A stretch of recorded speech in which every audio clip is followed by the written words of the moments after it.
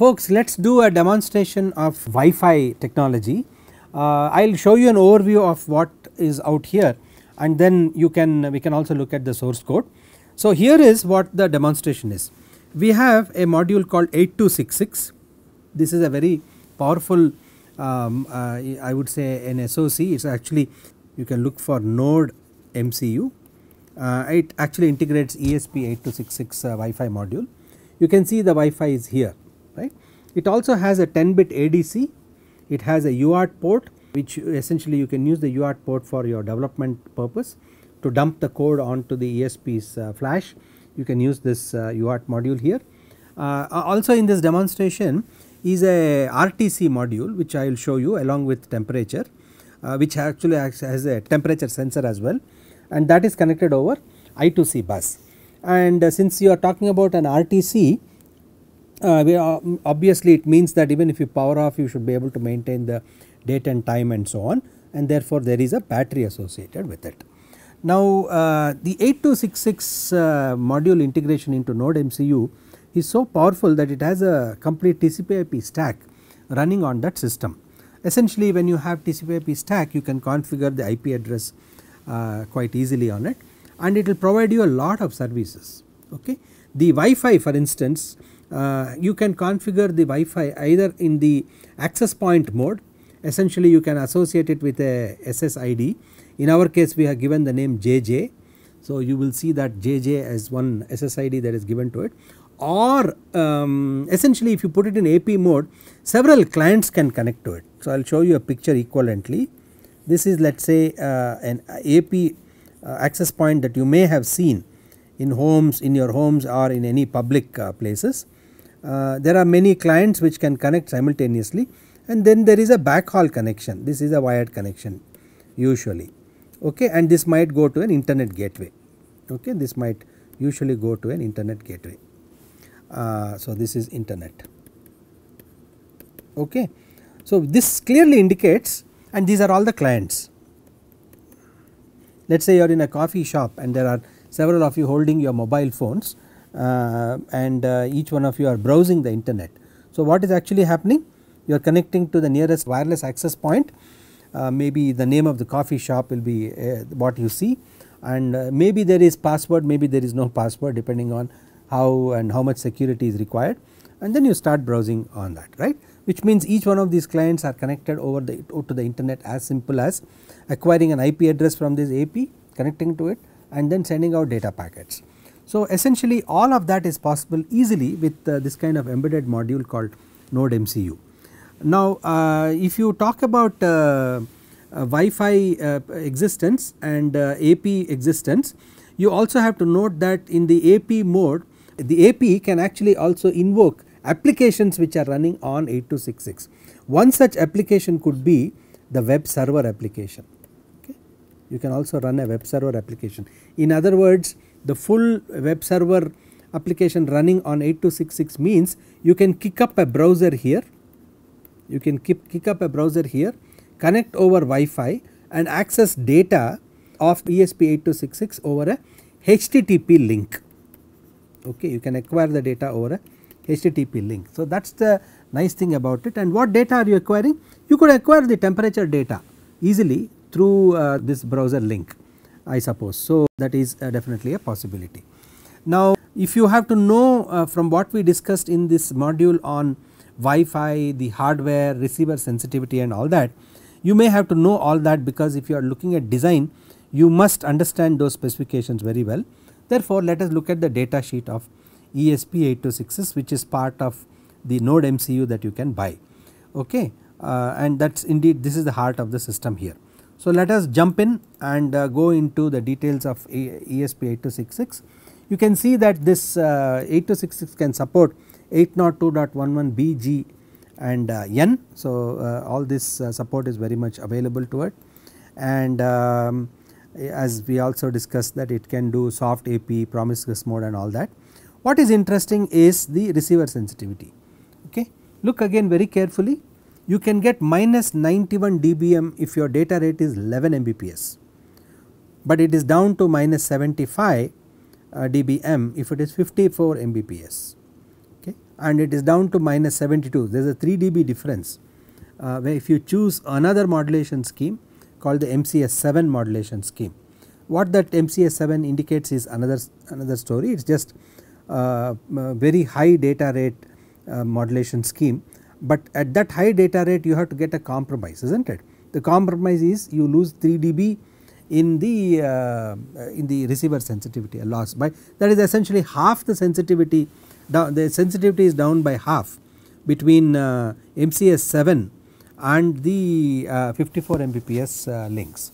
So it takes a beating on that but that was obvious from whatever we discussed last time that Rx sensitivity is a parameter of interest to us and you have to look at the data sheet to understand in detail about this particular parameter. And uh, operating voltage is given mm, then uh, antenna is mentioned okay. So here are the features which I was discussing station you can configure it as soft AP, soft AP plus station also. So all these possibilities exist of course security is very much part of it and it is uh, bundled into it. Protocol support IPv4, TCP, UDP and HTTP we spoke about browsers kicking up and asking data from temperature sensors via the HTTP server and that is something that uh, is easily doable with 8 ESP8266. What are the typical applications? Well there is a huge number of them and uh, in our lab uh, we have we have used ESP8266 for uh, energy monitoring applications. So that is uh, particularly single phase energy monitoring applications. Here is a footprint of how the chip looks and here are the pin definitions of uh, the chip and here is a picture of the functional diagram block diagram of ESP8266.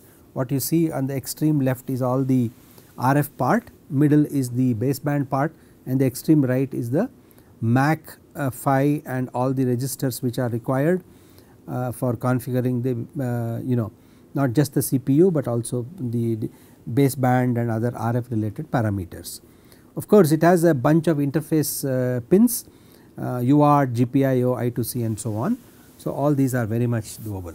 Uh, ADC is also there and uh, all these are very much available for interfacing different type of sensors. ADC yes of course there is a 10 bit I mentioned SPI is there and I2C is also there. If you read this document you will clearly understand that all the parameters are easily listed there and uh, it is useful for you to read them as thoroughly as possible. So there are details about the Wi-Fi radio and baseband, there are details about uh, the uh, MAC, uh, you did see the MCS 7 out there last time but now you see them in detail that it is in the 20 megahertz uh, bandwidth.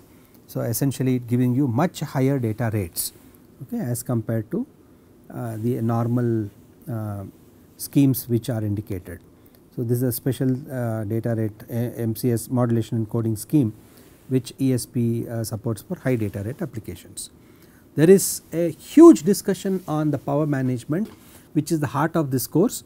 So, therefore, I would strongly encourage you to read up on power management uh, section of this article you have active mode, modem, sleep mode, light sleep mode, deep sleep mode and so on. So, all these modes are indicated the uh, corresponding current consumption is also indicated. So, look them up in uh, great detail understand that in great detail so that you really know that uh, several levers can be pulled. So, that battery life of this uh, monode MCU which integrates ESP8266 really survives for the 10 plus years kind of lifetime we are looking at. Well at least the 10 plus years is indeed our goal uh, whether it is doable is another story but it is always good to think about something which is uh, long uh, in what you want to achieve. Alright these are pin definitions for SDIOs and so on.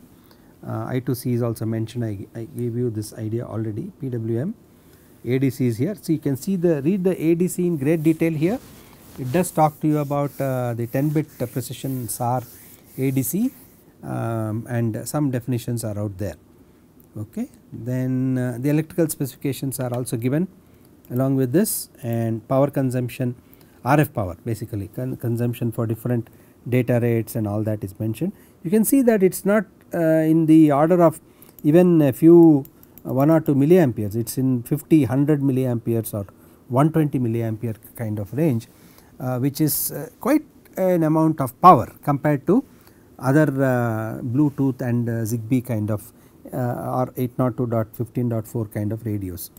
So, that is a point to be noted there and then there are characteristics of the uh, Wi-Fi radio as well.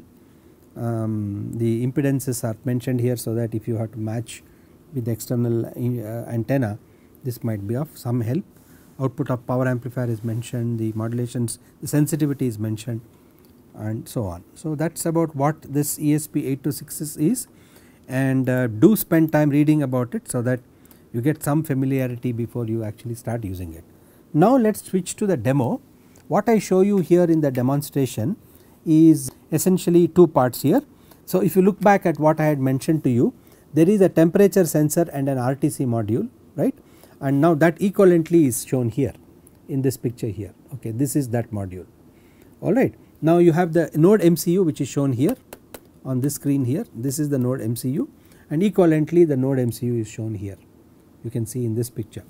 Okay you can see that this indeed is the node MCU here which has the 8266 uh, ESP uh, system uh, which is actually the CPU is from Tensilica and all the features are all out there Wi-Fi then flash then um, all the configurations that you need to do for uh, UART for dumping the code and so on everything is out there. So, this is that module. What you see here this cable is indeed the UART cable which is quite similar to what I have shown you here in this picture.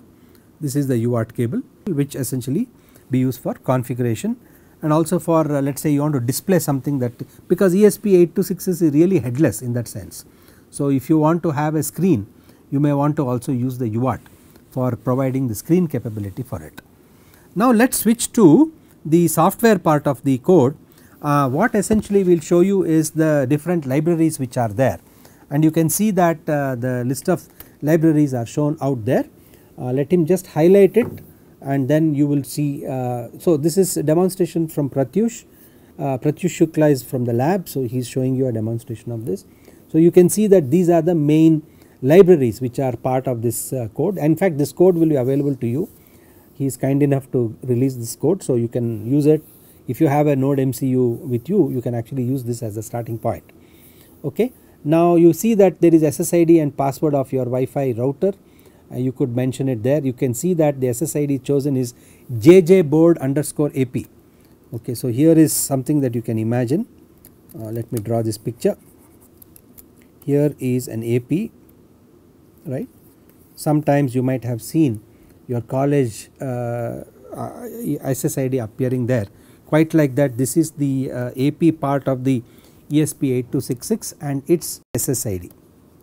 So, if you come close to this uh, ESP8266 module you will see you will see on your mobile phone you will see this uh, AP showing up that it can allow you to connect okay. So, that is the nice thing about it. Alright then you have uh, other parts essentially going to um, uh, the I2C protocol part which is uh, shown here. The I2C is required because you are actually acquiring the temperature right. So, what is the demo here that we have? The demo is you acquire the temperature over I2C bus and then you uh, should be able to uh, you know broadcast that or transmit that uh, data using Wi-Fi onto a mobile phone.